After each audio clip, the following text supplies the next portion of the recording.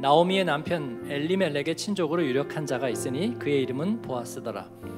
모압 여인 루시 나오미에게 이르되 원하건대 내가 밭으로 가서 내가 누구에게 은혜를 입으면 그를 따라서 이삭을 줍겠나이다 하니 나오미가 그에게 이르되 내 따라 갈지어다 하매 루시 가서 베는 자를 따라 밭에서 이삭을 줍는데 우연히 엘리멜렉의 친족 보아스에게 속한 밭에 이르렀더라. 마침 보아스가 베들레헴에서부터 와서 베는 자들에게 이르되 여호와께서 너희와 함께 하시기를 원하노라 하니 그들이 대답하되 여호와께서 당신에게 복 주시기를 원하나이다 하니라 아멘. 예. 오늘 두 분 통역을 하는데 제가 아, 오늘 수요 기도회 이기도 하고 또 예, 어제 세네갈에서 돌아왔는데 원고를 드리진 않았거든요. 그래서 지금 예, 그 독일 건국일에 가장 탁월한 통역가인 이세일 집사님이 통역을 하고 있는데 역시 원고가 없는 상태에서 그러나 얼굴빛을 보니 조금도 당황하지 않고 예, 침착하게 그래서 오늘 제가 RPM이 좀 떨어질 거라는 것을 미리 말씀드리는 거예요. 그 대신에 내용을 줄이고 말투를 느리게 해서 약간 RPM을 줄여서 오늘 말씀을 나누겠습니다.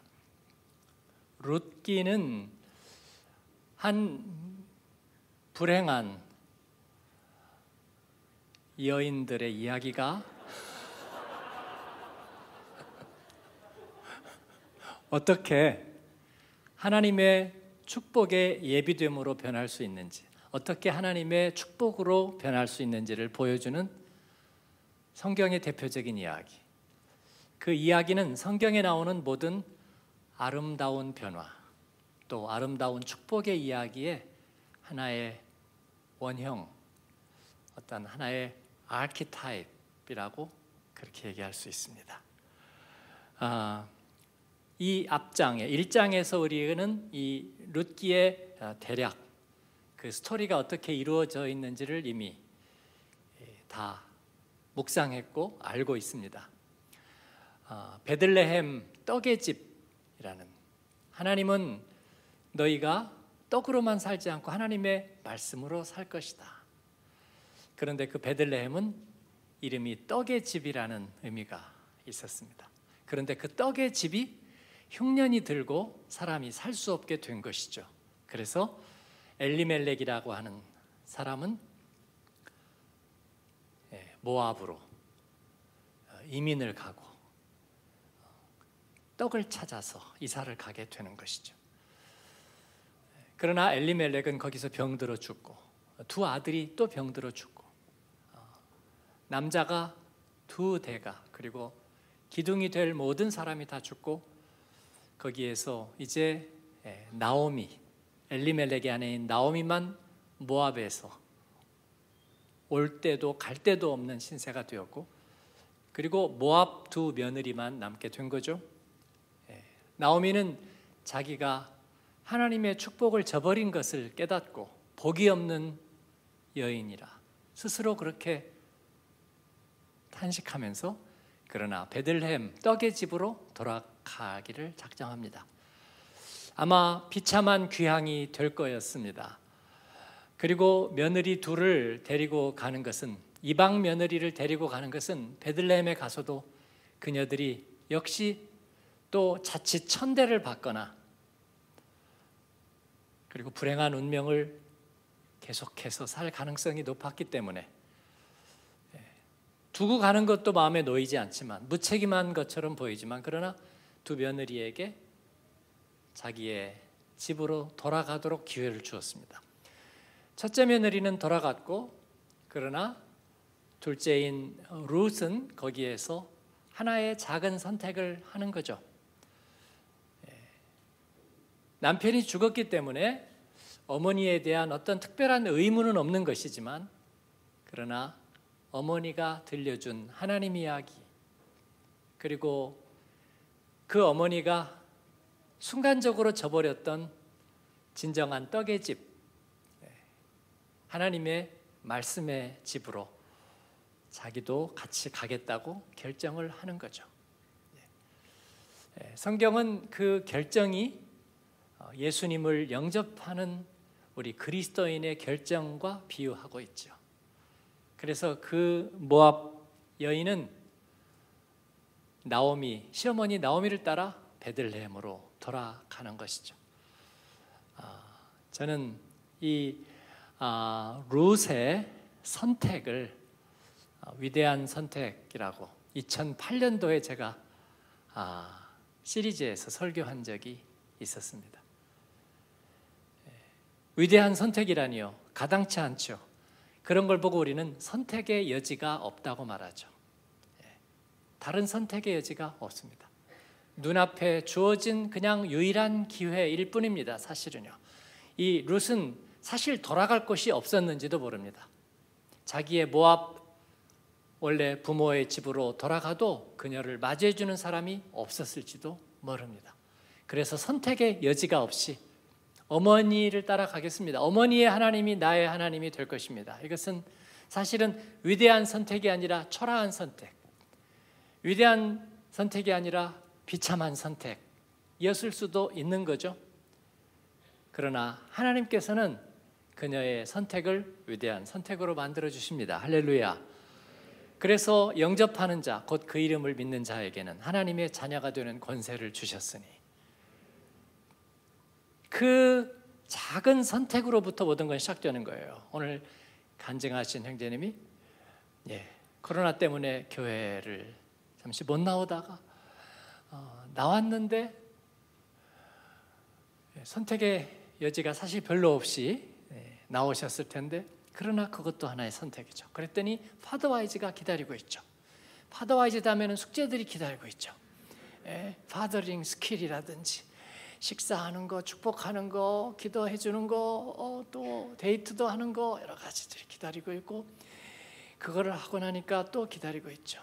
예, 간증도 기다리고 있고 또 여러 가지가 기다리고 있는데 하나의 작은 선택이 마치 이 댐에 댐에 물꼬를 트인 것처럼 갑자기 모든 것이 그런데 그 모든 것들이 마치 기다렸다는 듯이 이렇게 계속해서 쏟아져 오는 베들레헴을 향해 발걸음을 돌린 이 루세 앞길에 많은 것들이 기다리고 있습니다.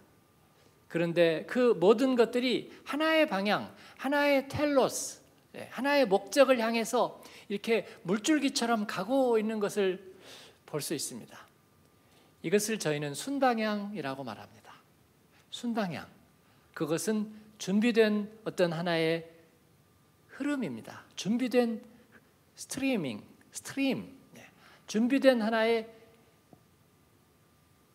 흐름이죠. 그래서 순방향이 될 수 있는 거죠. 성경은 이것을 축복이라고 말합니다. 축복은 준비된 거예요. 마치 우연히 뭔가 이렇게 탁 모퉁이를 도는데 어떤 사람하고 꽉 부딪혀가지고 어, 그건 축복이 아닙니다. 예, 그건 충돌이에요. 예, 그리고 재난이에요. 그래서 그런 것들은 우연입니다. 그런데 축복이 충돌하듯이 재난을 당하듯이 그렇게 우연히 오는 법은 없습니다. 결코 없습니다. 여러분이 은혜 없는 삶을 살아보셨는지 모르지만 대부분 그렇게 살았을 거라고 생각해요. 저도 은혜 안에서 살았으면서도 은혜가 뭔지를 의식하지 못하고 있을 때, 뭐 이렇게 사나 저렇게 사나 도찐이 개찐이지. 예? 사람이 어차피 우연적인 인생인데 예. 뒤로 넘어져도 코 깨질 수 있는 거고 인간만 사 세옹지마지 그런 생각이 은연중에 들어서 하나님의 은혜 밖으로 조금 나가보니 거기에서는 좋은 일이 한 개도 생기지 않았습니다. 네, 축복, 우연히 절대로 들어오지 않았습니다. 동전으로 긁는 500원짜리 복권도 맞지 않았습니다. 저를 도와주는 사람은 한 사람도 없었고, 저를 일부러 좋은 쪽으로 생각해 주는 사람, 저희 어머니 이후에 단 한 사람도 없었습니다. 여러분이 세상에 나가서 말해 보세요. 아, 내가 열심히 일을 했더니 조금 피곤하다 그러면 사람들이 다 안 들은 척 할 거예요. 직장에서 그렇잖아요. 예. 아, 내가 열심히 살았더니 아, 그럼 사람들이 다 못 들은 척 할 거예요. 어, 디다가 자랑질이야. 아, 그리고 애써 들으려고 하지 않을 거예요. 그런데 하물며 내가 어려운 일이 당해서 사실은 말이야 내가 이런 얘기까지 하고 싶지 않았는데 내가 이렇게 된 것은 그래서가 아니라고 누가 나를 이해해 줄지 모르지만 그런데 어느 누구도 그래 분명히 당신 상황이 오해할 만하고 당신이 뭔가 잘못을 저지르고 뭔가 나쁜 의도로 그런 일을 한 것처럼 사람들이 볼 수 있는 상황이지만 그러나 내가 당신을 알고 아니 잘 모르지만 그러나 이해하려고 보니까 당신의 마음속에는 선한 마음이 있고 이건 결코 그래서 되지는 않았을 거라고 적어도 나는 믿고 싶어 라고 말하는 사람이 있어요? 없습니다. 제가 단언컨대 단 한 사람도 없지요. 그러니까 좋은 일이 일어나나요? 좋은 일은 준비된 거라고 그랬잖아요. 그리고 좋은 일은 하나의 흐름이죠. 순방향이죠. 그 일어나나요? 안 일어나는 거죠. 결코 일어나지 않죠. 저도 그것을 경험했어요. 마치 욕심쟁이 할아버지의 정원처럼 왜 우리 집만 겨울이 지배하고 봄이 오지 않는 걸까? 예, 봄이 오지 않는 거죠. 언제나 차가운 겨울과 같은 거죠. 은혜 없는 삶이 계속해서. 그래서 이것을 우리 신앙적인 표현으로 아무 일도 일어나지 않는다고 얘기하는 거예요. 예. 옆에 분에게 한번 인사해 주세요. 아무 일도 일어나지 않았지. 아무 일도 일어나지 않았지. 예. 아무 일도 일어나지 않았지. 그렇습니다. 애를 쓰고 수고하고 아침에 일찍 일어나고 저녁에 늦게 눕고 그리고 애를 쓰지만 그러나 진정한 좋은 일들은요. 물론 졸업도 하고 취직도 하고 승진도 하고 하지만 그건 진정한 좋은 일은 아니죠, 여러분. 정말 좋은 일이 일어나지 않는 거죠.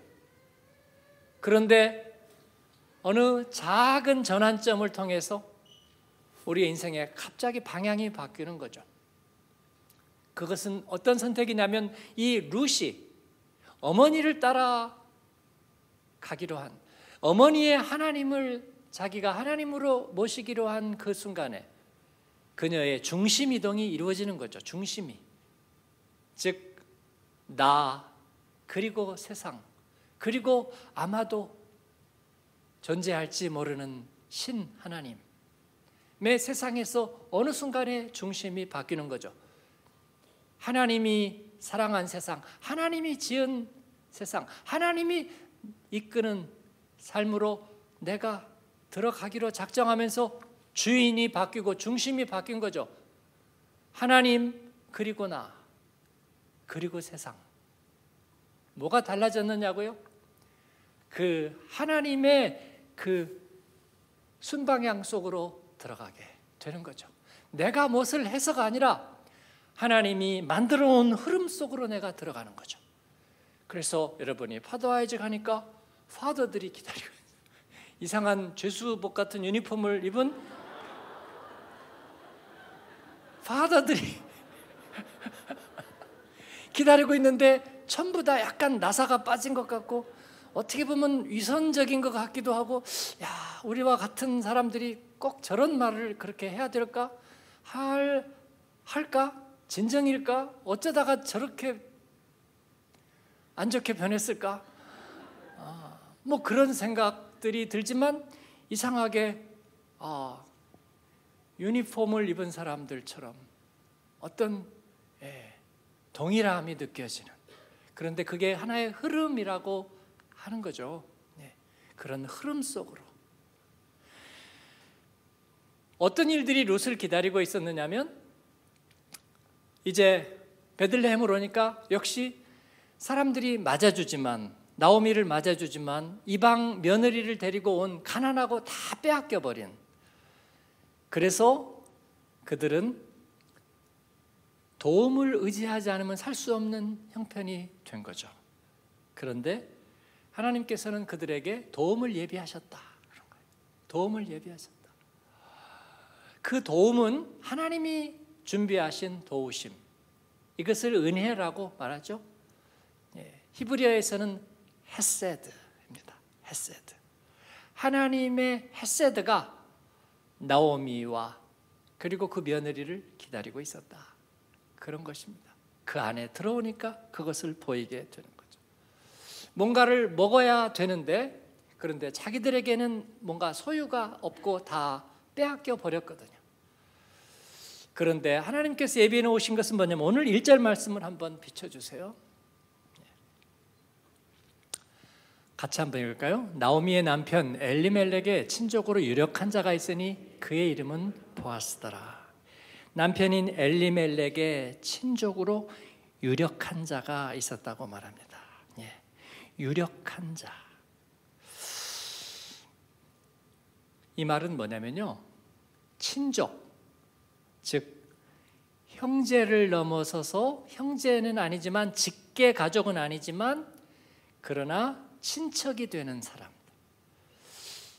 그 사람들은 하나님의 언약, 하나님의 약속에 구속을 받는 사람들입니다. 그래서 그런 사람들을 언약적인 형제라고 부릅니다. 우리는 다 언약적인 형제죠. 코로나가 발생하고 예, 백신 맞기 전에 코로나가 어, 걸린 가족들을 우리 교우들이 돌봤죠. 예. 예, 부모가 다 병원으로 실려간 경우에 아이들 둘이 또 코로나에 걸렸는데 그 아이들 둘을 어떡할 거예요? 우리 성도들이 들어가서 돌봤죠. 코로나 걸린 아이들. 처음에 코로나 걸렸을 때는 한국에서는 어떻게 했어요? 거의 우주복, 방사복을 입고 예. 이렇게 이렇게 하면서 돌봤죠. 예. 바이러스가 뭐를 뚫을지를 모르니까. 예. 그럴 때 우리 성도들은 아이들 집에 들어가서 아마도 마스크 하나 하고 아이들을 돌봤죠. 이게 뭐예요? 예, 언약적인 형제인 거예요. 언약적인 형제.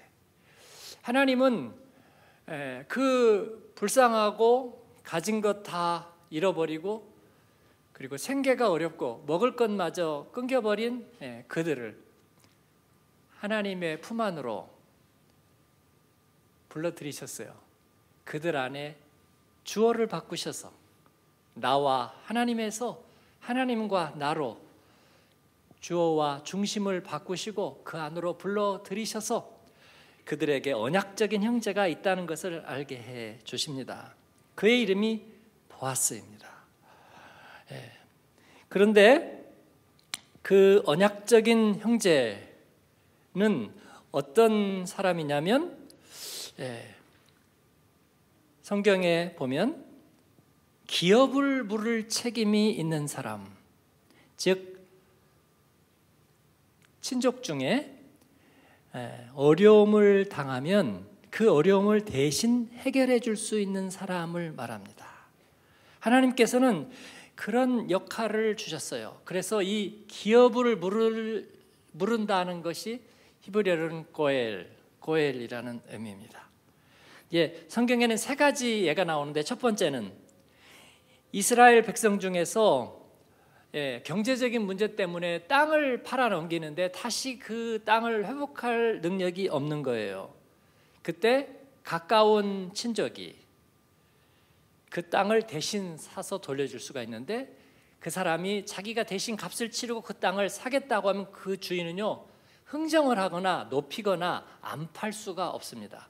무조건 팔아야 됩니다. 그 빌린 만큼만 돈을 주면 무조건 팔아야 돼요. 그래서 땅은 하나님의 것이고 하나님이 분배해 준 그 사람에게 다시 돌려주는 거예요. 그 어느 누구도 땅의 주인이 될 수는 없어요. 땅은 관리하고 경작할 뿐이에요.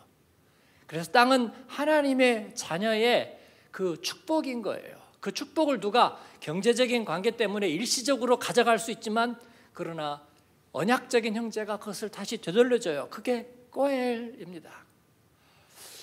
우리는 나그네로 이곳에 살면서 집을 새를 얻어 있기도 하고 아니면은 사기도 하고 또 다른 문화, 다른 언어 속에서 우리는 한 자리를 차지하고 있습니다. 하나님께서 우리를 위해서 예, 이 꼬해를 마련해 주신 거라 그렇게 볼 수 있습니다. 두 번째는 이스라엘 백성이 자기가 스스로 노예로 팔릴 경우에 노예가 아프리카 노예하고는 좀 다릅니다. 종이죠. 그러니까 경제적인 채무 관계를 갚지 못했거나 뭔가 죄를 지었을 적에 가서 품을 팔아주는 그 대신에 그 사람의 일시적인 소유가 되는 거죠. 막 죽여도 되고 그건 절대로 아니에요. 근데 노동력을 파는 거죠. 그게 이스라엘의 종의 개념인데 그러나 이 종으로 영구히 살 이유가 없습니다. 이제 아, 희년이 되면 완전히 되돌려주고요. 또 안식년 때도 기회가 있는데 그러나 친척 중에서 돈을 대실 지불해주면 종으로 섬기다가도 다시 자유인이 돼서 돌아올 수가 있는 거죠. 그때 이 종이 되었던 사람을 다시 사서 되돌려주는 사람을 꼬엘이라고 얘기합니다. 세 번째는 예, 피해 보수자를 꼬엘이라고 얘기하는 거예요. 아, 어떤 사람이 죽임을 당했어요. 살해를 당했어요. 그럴 때 그 친척 중에서 그 살해당한 사람을 대신해서 복수해 줄 수 있습니다. 이게 하나님의 정의죠. 무서운 정의인데 이 피해 복수자 그 사람도 역시 꼬엘이라고 말하죠. 예수님은 우리의 꼬엘이 되셨습니다. 우리의 삶의 터전을 우리에게 하나님의 것으로 회복시켜 주셨고요. 그리고 세상에 종되어서 빚진 인생을 살던 우리를 다시 회복시켜 주셨고, 그 다음에 하나님 앞에서 살인자와 같은 죄인이었던 우리를 예수님께서는 피로 갚지 않으시고 대신 자신을 죽여서 우리를 죽여야 되는데 자신을 죽여서 주님은 그 피를 우리에게 주셔서 우리를 깨끗하게 하셨습니다. 그래서 예수님은 우리의 참된 꼬엘이 되시는 줄로 믿습니다. 바로 그런 하나님은 기업 물을 사람 꼬엘을 준비해 놓으셨는데 이 불쌍한 모함 여인 룻에게 그래서 그를 만나게 하셨습니다. 2절을 같이 한번 읽으시면요. 모압 여인 룻이 나오미에게 이름에 원하건대 내가 밭으로 가서 내가 누구에게 은혜를 입으면 그를 따라서 이삭을 줍겠나이다 하니 나오미가 그에게 이르되 내 따라 갈지어다. 하매. 내가 밭으로 가서 내가 누구에게 은혜를 입으면? 그 말은 밭으로 가서 이제 추수를 하는데 수확을 거두는데 나그네와 그리고 과부는 또 고아는 이 주인이 거두다가 땅에 떨어진 것을 주워 갈 수 있습니다. 근데 단 주인이 허락을 해야 됩니다. 즉 은혜를 입는다는 것은 저 사람이 허락하면 그래서 하나님의 법에 추수를 하는 사람은 다 거두면 안 됩니다. 땅에 떨어지는 것은 가지고 가면 안 됩니다. 그리고 나무에 그냥 달려 있는 것도 가져가면 안 되고 놔두면 나그네와 고아와 가부들이 그것을 따갈 수 있습니다. 하나님이 마련해 놓으신 예, 하나님의 은혜의 선물이죠. 근데 나오미가 얘야 자존심도 없이 이것이 그렇게 얘기하지 않고 내 따라 갈지어다. 즉 하나님께서 그들을 은혜의 순방향 안에 두셨다는 것을 알고 있는 거죠. 이제 뭔가 연쇄 반응이 나타날 것입니다. 그렇게 가서 봤더니 3절을 같이 읽겠습니다. 룻이 가서 베는 자를 따라 밭에서 이삭을 줍는데 처음에는 예, 거기까지 처음에는 그냥 이 추수하는 사람들 따라 밭에서 떨어진 이상만을 주었는데 그 다음 우연히 엘리멜렉의 친족 보아스에게 속한 밭에 이르렀더라. 아멘. 우연히 예. 우연히 뭐 그런 노래도 있었지. 그런데 우연히 엘리멜렉의 친족 보아스에게 이르렀습니다. 그렇습니다. 세상적인 의미에서 당연히 우연한 것입니다. 그런데 우연한 일이란 없습니다. 좋은 일에 우연한 일이란 없습니다. 네. 멋진 모뉴멘트가 세워져 있는데 그건 우연히 이루어지지 않, 절대로 우연히 이루어지지 않았습니다. 음악이 들리는데 너무나 아름다운 음악이 들립니다. 우연히 이루어지지 않았습니다. 아름다운 음악은 우연히 되지 않습니다. 어떤 날 갑자기 내가 어, 어, 탄식을 하다 보니까 너무 멋진 음악이 됐다. 그런 일이 없습니다. 절대로 있지 않습니다. 예. 여러분이 누군가가 머리가 멋있겠는데 아, 몸부림치며 잤더니 머리가 멋있게 됐더라. 그런 일은 절대로 없습니다. 분명히 돈을 들인 것입니다. 들여도 많이 들인 것입니다. 그걸 꽈든 풀었든 예, 어떻게 머리 감고 샴푸가 이상해서 이렇게 잡아다녔더니 멋지게 펴졌다. 그런 일은 없습니다. 적어도 150유로를 들여서 핀 겁니다. 하나님께서 예비하시지 않으면 좋은 일은 일어나지 않습니다, 여러분. 우리가 깨달은 거죠. 그래서 그 보아스의 밭에 이르렀더니 보아스가 와서 사절 같이 읽습니다. 마침 보아스가 베들레헴에서부터 와서 배는 자들에게 이르되 여호와께서 너희와 함께 하시기를 원하노라 하니 그들이 대답하되 여호와께서 당신에게 복 주시기를 원하나이다 하니라. 아멘. 예. 하나님이 너희와 함께 하시기를 원하노라. 이게 임마누엘이죠. 네. 성경에 있는 가장 아름다운 말 하나님이 너희와 함께 하신다. 그런 거죠. 요셉이 하나님이 자기와 함께 하는 것을 알면서부터 그의 꿈이 실현되기 시작하죠. 그리고 그때부터 뭔가 선순환 속에 그의 삶의 궤도가 맞춰지게 되는 거죠. 마치 우리가 예, 산에서 내려오다가 막 길인지 아닌지 모르고 막 뒤엉키고 가시 찔리고 그리고 예, 갑자기 막 굴러서 넘어지기도 하고 그러다가 보면 작은 길이 나타나고 그 다음부터는 갑자기 편해지고 그 다음부터는 큰 길이 나타나죠. 그러면서 모든 길은 이제 안전한 곳으로 사람 사는 곳으로 통하게 되는 거죠.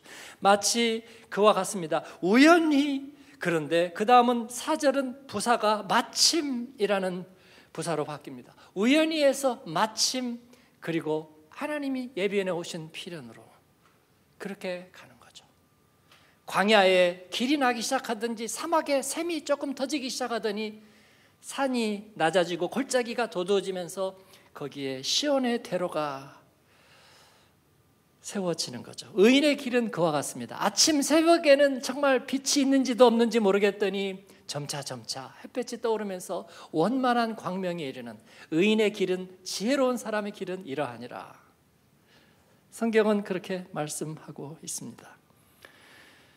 그리고 그는 여호와께서 너희와 함께 하시기를 원하노라. 우리 옆에 분에 가면 인사하겠습니다. 하나님이 당신과 함께 하시기를 원합니다. 이것은 위대한 축복이고 위대한 고백입니다. 처음에는 어 낯간지러워 그런 말 하는 거어 낯간지러워. 예? 예. 그러나 우리가 지금은 그런 것이 낯간지럽지 않습니다. 너무나 중요한 일입니다. 하나님의 그런 순방향이 하나님의 예비하심이 하나님의 그런 은혜의 햇세드가 하나님이 우리에게 대신 값을 치러 주시는 하나님의 고엘이 여러분과 함께 하시기를 원합니다.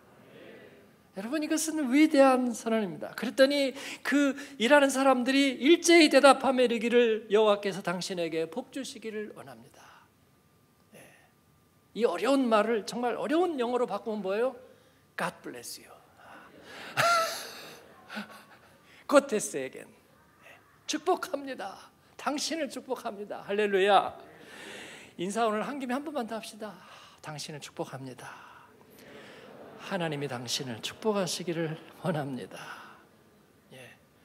사랑하는 여러분, 여러분이 이 세상에서 이름 없는 무명의 불안한 인생으로 살다가 하나님의 언약의 형제가 된 것을 축하합니다. 네, 우리 파더와의 형제, 우리 이제 언약의 형제입니다. 그래서 오늘 또 우리가 아, 2년 전에 우리 곁을 떠난 고 변광천 집사님 네. 바톤북의 그 묘지에서 어, 이주기 추도 예배를 드렸습니다. 제가 2년이 지났는데 이제는 우리가 즐거워하며 웃자 그랬습니다. 행복해하고 왜냐하면 우리가 그를 기억하고요. 예, 그의 사랑과 헌신과 오늘 그 양력을 보니까 아, 학교도 참 단정하게 나왔어. 어릴 때부터 예, 부자들 많이 다녔던 리라 초등학교. 리라 초등학교 나왔죠? 아니요? 네. 그 다음에 영동중학교, 서초고등학교, 연세대학교, 그리고 독일에 와서 보드게임을 좋아하고 너무나 착하고 하나님 사랑하던 아, 제가 한번 단기 선교 가는데 교회 복도에서 만났죠. 봉투 하나를 들고 저를 보더니 이걸 누구를 드려야 되나? 그래서 왜요? 그랬더니 자기가 핸드폰 하나 사려고 준비해 놓은 건데 이거 아프리카 가서 그 신학생들 장학금으로 주고 싶어요. 제가 가서 예, 얘기했죠. 이게 뭔지 아냐고. 어제 어느 한 집사님이 나에게 복도에서 얘기하면서 그렇게 준 거라고. 예, 평광천 집사님이죠. 예, 불의의 암을 만나서 우리에게 드릴 직 떠났지만 그러나 그 가운데서도 마지막 순간까지 하나님 말씀 큐티하고 우리의 곁을 갔지만 조금 일찍 앞서가고 뒤에 가는 것이 무슨 차이가 있단 말입니까? 한 여름밤의 순간 같은 우리의 인생 속에서 그러나 우리가 그를 기억하고 그의 사랑을 기억하고 그의 반듯한 하나님 사랑을 기억하고 또 그리고 우리가 하나님 앞에서 그와 같은 삶을 살아갈 것이죠. 우리는 이제 그러한 언약적인 하나님의 가족이 되었고요. 그래서 우리가 서로 기억해주고 축복해주고 그 삶을 살아내고 이번에 세네갈에 가서 서부 아프리카 선교사님들을 만났는데 서부 아프리카 선교사님들은 정말 순수하죠. 아프리카 중에서도 제일 열악한 지역이고요.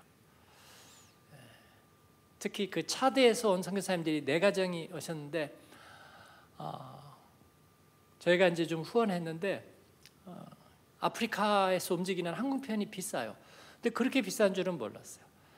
차드에서 세네갈은요 바로 거기서 거긴데요. 직접 가는 게 없어요. 그래가지고 아마도 파리까지 갔다가 다시 오거나 근데 그 비행기가 또 자주 없어요. 근데 4월에서 6월까지가 너무 더운 거예요.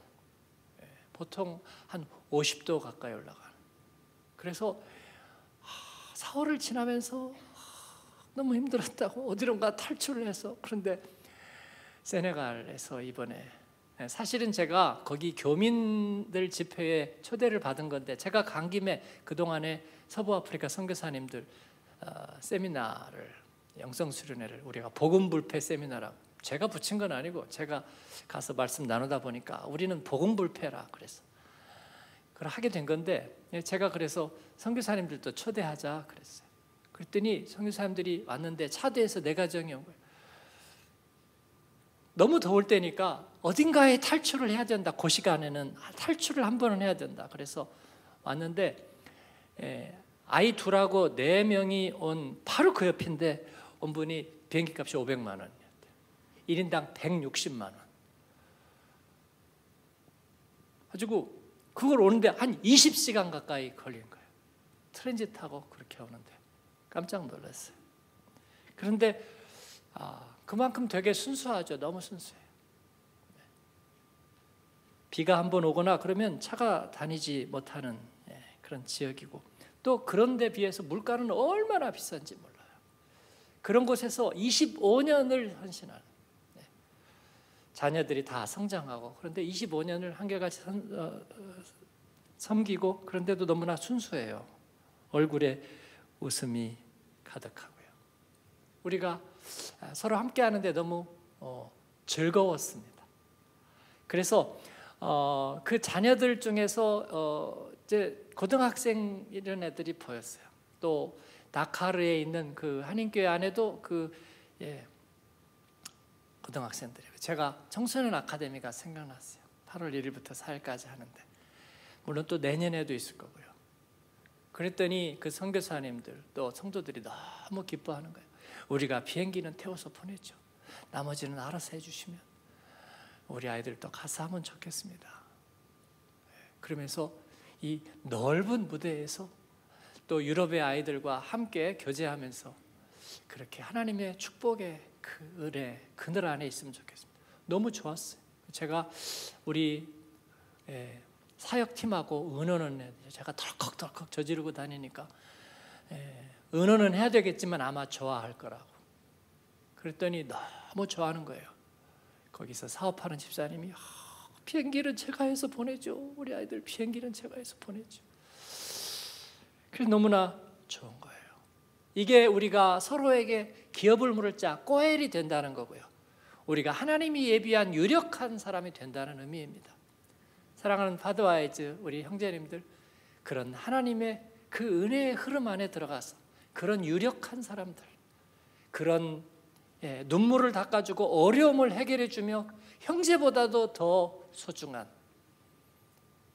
그런 하나님의 사람들이 되기를 축원합니다. 그 다음 그러기 위한 핵심은 뭐냐면요. 우리의 중심이 바뀌는 것이에요. 어려운 일이 아닙니다. 그냥 딸깍 이거 하나 바꾸면 됩니다. 나와 하나님에서 하나님과 나로 바뀌는 것이죠. 내가 어디 가는 것은 아니에요. 그러나 내가 진정으로 안전하고 부여하게 되는 거죠. 그것은 하나님이 나와 함께 하십니다. 하나님이 너와 함께 하시기를 원합니다. 하나님이 함께 하시기 위해서는 중심이 바뀌어야 합니다.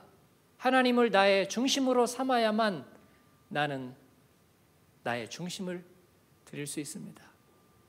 Ich habe meine Mitte in dir. 나의 중심이 당신 안에 있습니다. 우리 옆에 분에게 한 번만 마지막으로 얘기합시다. 나의 중심이 당신 안에 있습니다. 나의 중심이 당신 안에 있습니다. 아, 이 당신 말고 하나님 당신 안에. 그 당신 말고요. 그 당신은 위험해요. 예. 나의 중심이 하나님 안에 있습니다. 할렐루야. 그렇게 될 적에 아까 우연히 우연히 예? 우연히 여기에 온 줄 알았는데 그러나 마침 보아스가 그 자리에 나타나고 그리고 그 보아스의 밭에 이르고 보아스는 이 불행한 여인의 이야기를 다 들어서 알고 있는 거예요. 이 뒤에 이제 3장에 가면 알게 되지만 내가 다 들어서 알고 있다고 하나님께서 들려 주신 것이죠. 그렇습니다. 제가 세네갈에서 또 예수님 만나고 변한 분들의 이야기. 차를 타고 왔다 갔다 아, 다카르가 차가 왜 이렇게 막혀요? 그렇게 얘기를 하는데 예, 그 이야기를 또 듣고서 제가 여기 와서 얘기를 하잖아요. 뭐 제가 그걸 가지고 과장해서 덕을 볼 일이 있나요? 그럴 일이 하나도 없잖아요. 저도 인생을 살면서 진짜와 가짜를 구별할 줄 알아요. 진실한 이야기와 그렇지 않은 이야기를 구별할 줄 알아요. 여러분도 구별할 줄 아시죠? 또 가니까 누가 있어요? 우리 교회에 있었던 영사 로 왔었던 송재규 집사님, 유지은 집사님이 또 그곳에 가 있어요. 근데 가서 제가 거기 올 줄 모르고 우리 교회 얘기를 한참 많이 했대요. 근데 제가 또 간 거예요. 갔더니 벌써 가가지고 어, 1년 딱 됐는데 남성교회 회장하고 있어요. 뭐 사람이 적으니까 그냥 바로 일이 돌아와요. 남성교회장 다음 주에는 남성교회가 식사 준비한다고 그러더라고. 그러니까 아, 뭐를 해야 되지? 짜장밥을 하려 했더니 그날 짜장밥이 탁 나왔더라. 아, 그러면 이것도 아니고 다 뭐를 해야 되지? 네. 그러면서 얘기를 많이 했는데 가서 만난 거죠. 또 그런 데서 만나니까 너무 막 눈물이 글썽글썽 너무 반가워 하시는 거죠. 아, 목사님을 여기서 이렇게 또 만날 수 있게 될 줄은 내가 세상에서. 그 부인 집사님은 나는 목사님 다시 못 볼 줄 알고 인사 적당히 하고 왔는데 또 이렇게 만나게 됐어. 내가 그러니까 어디선가는 만난다고 우리가 왜냐면 우리는 하나님의 은혜 순방향 안에 있으니까 또 만나고 하나님이 예비하신 안에 있게 된다고요. 그래서 이제 더 이상 우연은 없습니다. 우연이 아니라 필연에 이르게 된다고요. 제가 선교지를 다니면서 아프리카에도 20여 개국 이상을 다녔지만 어, 또 아시아 쪽에도 그렇고 오지로 들어갈수록 거기에는 우연히 존재하는 것이 아니라 필연히 존재한다는 걸 알았어요. 하나님이 하나님의 사람들을 보내시는데 오지일수록 더 좋은 사람이 들어가 있더라고요. 항상 그래요. 오지일수록 좋은 사람이 들어가 있어요. 그 하나님이 예비하심이 있는 것입니다. 네. 우리가 여기에 이렇게 모여 있는 건 절대로 우연이 아닙니다. 하나님의 예비하심입니다. 하나님이 우리와 함께 하시고 하나님이 여러분을 복 주시기를 원하십니다. 이제는 여러분이 기업을 물러주는 유력한 사람이 될 뿐만 아니라 우연을 필연으로 바꾸는 주님의 사람들이 되기를 바랍니다. 그래서 룻은 보아스와 결혼해서 다윗의 증조모가 되는 것입니다. 아브라함의 씨앗. 그 말은 그냥 이스라엘 사람이 됐다는 의미이기도 하지만 갈라디아서에 나오는 것처럼 3장에 나오는 것처럼 단 하나의 메시아의 족보가 되는 거예요. 진정으로 이 생명의 줄기가 되는 것입니다. 여러분을 통해서 여러분의 자녀가 생명의 줄기가 되기를 바랍니다. 이 땅의 진정한 줄기. 공부를 하고 언어를 하고 가정을 이뤘다고 사람 노릇을 하는 것이 아니라 그 중에서도 진정한 줄기, 생명의 줄기, 하나님의 줄기가 되어서 다음 세대에 참된 DNA가 되고 그리고 다음 세대의 희망이 되는 그런 복된 가정 또 그런 우리의 복된 자녀들이 되길 바랍니다. 이것이 축복의 사람입니다. 이는 무르익어 가는 것이고 준비되는 것이고 건설되는 것이고 지어지는 것입니다. 파더와이즈를 하면서 우리 형제들은 우리의 모든 관계들을 내 삶의 모든 아젠다들을 말씀 위에 올려 넣기를 다짐했습니다. 말씀 위에 아, 어떻게 올려놓는가? 아, 이것들을 우리가 경험하고 연습했습니다. 영원하신 만세 반석과 같은 하나님의 말씀 위에 그 모든 것들을 올려놓고 우리는 빚을 갚아주는 이 유력한 언약의 사람들, 꼬헬이 되고 우연을 필연으로 바꾸는 축복의 사람들이 되어서 하나님 앞에 아름다운 기업을 이루는 성경은 바로 이런 것들을 기업이라고 말합니다. 너무나 멋진 이야기죠. 예. 그런 하나님의 기업이 되는 저 여러분 되기를 축원합니다. 아멘.